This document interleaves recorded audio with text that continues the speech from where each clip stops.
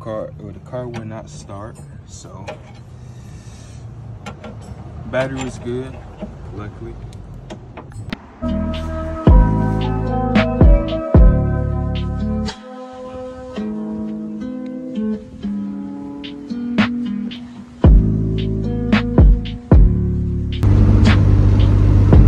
What's up YouTube? Welcome to Auto 3 Garage. As you can see, I'm about to be doing a POV and a Porsche 944. And I'm my back road, of course. Always been a dream that come true. And it has done. Anyway, we're doing pretty damn good with Tim and all that. Uh, my oil pressure gauge good.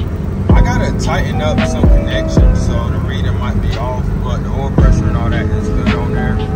Um, I plan on doing like fluid change on here, and I still never like straighten my steering wheel. I need to like just unbolt it and then put it back in place uh, the proper way because we grew up straight and the alignment was perfect and all that.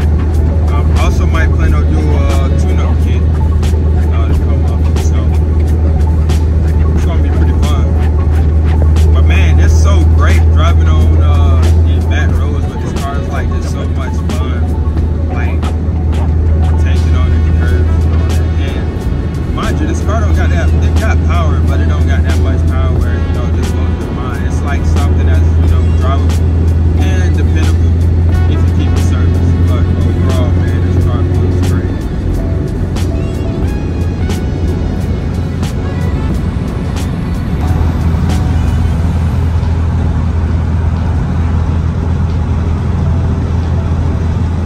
I bet y'all like, man, get your steering wheel straight.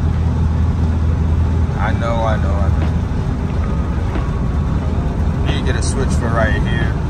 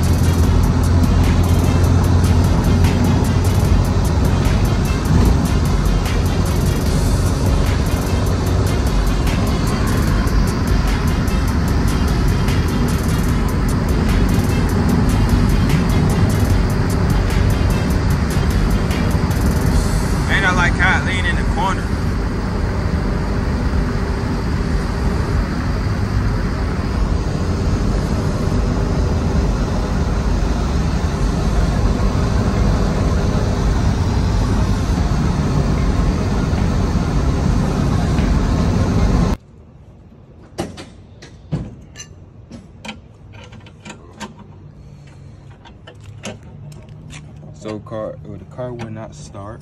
So battery was good, luckily. Now I'm trying to.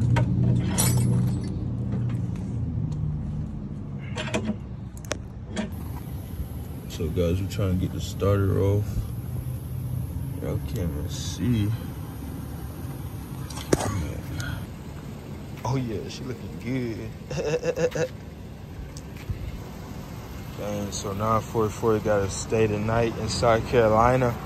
Good thing I have a nice parking spot. Uh, the people I know, they own this parking lot and all that. So uh, good thing it's in a safe little place or whatever. That's kind of bad. I'm on my girl phone, so. All right, guys, we got items right here, the battery and the starter. We're gonna test the starter to see if that's it. I uh, want to turn the motor over just in case, but I'm pretty sure nothing ain't catastrophic too crazy because when I was in the middle of the highway, uh, it shut down on me and it wouldn't turn over for nothing. Um, but it finally did, so hopefully that'd be our issue, hopefully. Fingers crossed, you never know.